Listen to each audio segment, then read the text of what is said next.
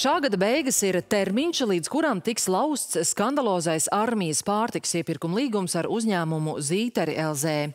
Aizsardzības ministrija norāda, ka līgums tiks izbeigts bez pretenzijām no komersanta puses.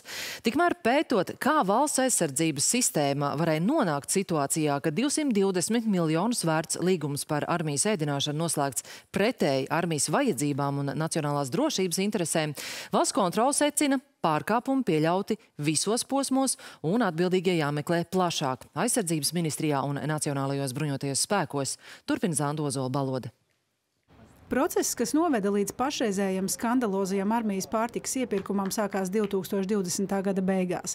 Viss sācies nevainīgi. Sākotnējā iecerē paredzēja izveidot pārtikas apgādes ķēdi, kam būtu jāspēj darboties krīzes laikā, un tas tiktu pārbaudīts miera laikā.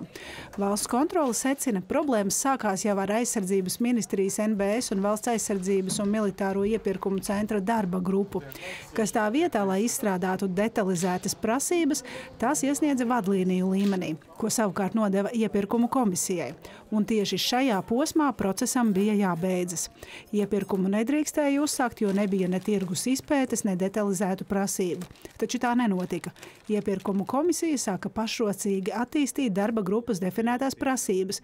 Vai notikušais ir ļaunprātība? Valsts kontrola norāda, uz šo jautājumu būs jāatbild tiesības sargājošajām iestādēm. Jautājums, vai tur ir ļaunprātība, jo tā jau ir subjektīvā puse, ļauns nolūks. Tas, ko mēs no revīzijas darba redzam, nu, kad nu, Nē, nu, ja tā ir muļķība, ja tā ir paviršība, tad nevar valsts darbā strādāt. Nu, nevar būt tik liels muļķis. Valsts kontrole, uzskaitot pārkāpumus, norāda, iepirkumu komisija nedrīkstēja pieņemt lēmumu par būtiskiem Nacionālo bruņoto spēku apgādes jautājumiem, taču tā arī pieņēma lēmumu par digitālo rīku e-platformu. Komersantam, kas piedalījās iepirkumā, nebija neatbilstīgas IT kapacitātes, ne kvalifikācijas. Tas piesaistīja apakšu uzņēmēju, taču līgumā tas nemaz tā netika atrunāts. Pretendenti arī netika vērtēti atbilstīgi nacionālās drošības prasībām. Tā kā pārkāpumi ir visos posmos, tad uh, nevajadzētu aprobežoties tikai ar iepirkuma komisijas locekļu atbildības vērtēšanu.